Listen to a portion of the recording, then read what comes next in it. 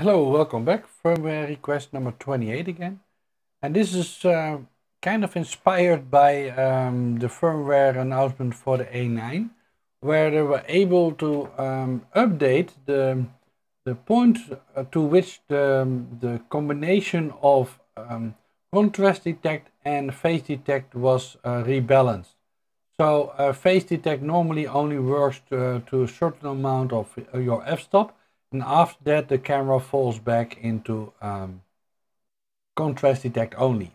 And the problem with contrast detect, without explaining it too much, is that there's two different methods and one method really quickly goes to the point and, um, um, and then goes back and forth. So it's very good because it's very precise. It uses contrast to figure out what is the sharpest point. Phase detect is kind of a harder system to explain. But the nice thing about phase detect, it sort of zooms in right away to the correct point where it needs to be without doing this focus uh, hunting.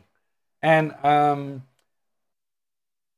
the problem is that uh, the cameras um, that we have now, um, they most of them, uh, so the A7 III, uh, A7R3, they only do phase detect up to uh, an f-stop of f8. So let me first show that.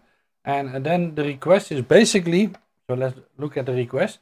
Can you please look at that? Because um, weirdly enough, or, or good news for A9 owners, they were able to bring that up to a massive F16 on uh, on the A9, up from F11. It was already better than the A7 and the A7 III, uh, which has were stopped at uh, F8. I think out of my memory, the only other camera that goes to F11 is um, the A6500, which does do it, I think. Um, so that kind of hints that, um, uh, which I didn't expect, that some hardware or processing is, processing is actually involved in this uh, process. So um, yeah, my question is, uh, would it be possible to uh, pull it to F11 uh, or even higher? Um, because that has two advantages. So let me first show you um, the effect. Um, and the other advantage where it would massively help is people using um, or being able to use them with teleconverters or really slow lenses. For example, um, it's now possible to use uh, the 1.4 on the uh, 100 to 400 uh, GM, but because you stay under the f8, but uh, depending on your lens combination, you might not be able to stay under f8 and then you would only fall back to contrast detect which is slower. You get this sort of pulsing or hunting effect. So uh, let's uh, show it and then um, yeah. So what I did I uh, put a quite a, a quick uh, lens there a 1.4 and I'm now currently at 1.4 and you see if I focus that it's there right away. I put it on a white uh, setting zone as you can see and if I go to a different camera point, you can see that it snaps to that point quickly and very decisively. It is just there. And this is already a very fast focusing uh, lens. And we are at f1.4, so it's quite difficult to find focus um, because it has to be very precise. But you can see it snaps there pretty quickly. Now, what see what happens if I move the, the, the camera to a higher f-stop. So let's first do it, which makes it easier, right? Because you have less depth of field. So let's put it on 7.1. You can see that if I now do it, it's probably still very much in focus, but you can see it still goes there quickly without any problems. But watch what happens if we go to F8 and above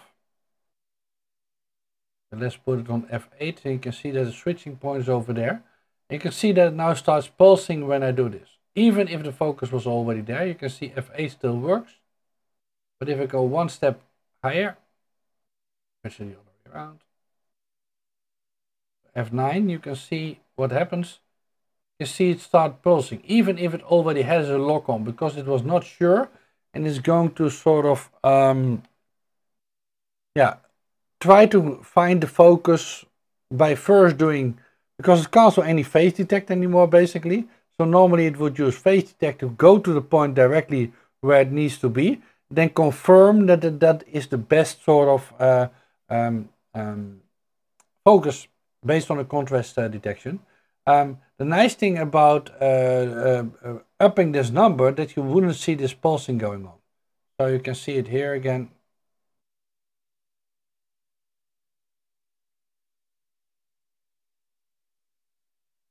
Go back there. You can see that clearly it's pulsing. Well, it's not doing that if you are using phase detect. Now, one thing that um, uh, might be happening if it's depending on the the speed, uh, the processor speed, which seems to be a logical conclusion given that they were able, without of course changing the sensor in the A9 to uh, improve it so massively, that it might depend on uh, either the routine becoming faster, but maybe also the amount of phase detect point they are actually checking.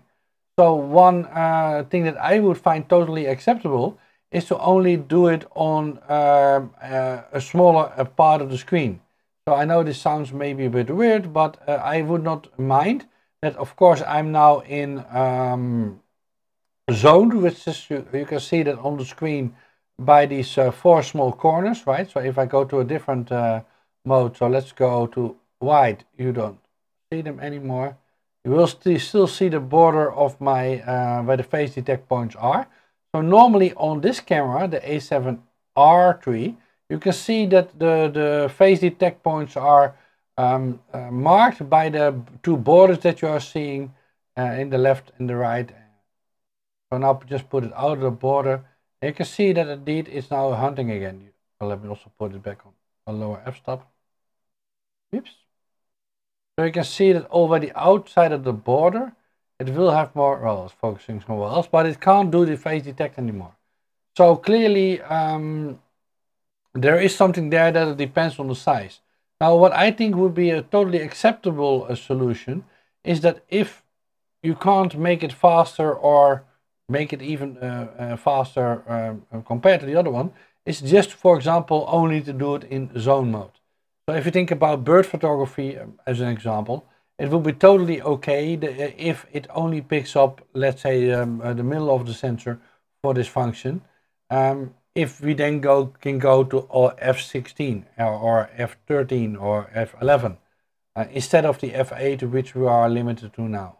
Uh, but I do hope that uh, that the improvement that was found in A9 can also be brought down to these two cameras because it would be um, a definite plus to have the combination of the phase and the contrast detect uh, going on because you can clearly see um, the hunting is um, and this is one of the better lenses uh, to begin with, um, I'm now using the 24 um, G Master, which is uh, has a very fast uh, uh, motor system, uh, so it's not the worst in it. And some other lenses might uh, do this hunting even more. Hunting is true, yeah, well, it is hunting, but it's finding the focus more if you're in contrast only mode. So um, yeah, hopefully this can be implemented um, in the A7 3 and the A7R3. Uh, we would appreciate it. Uh, so uh, see you in the next one. Bye bye.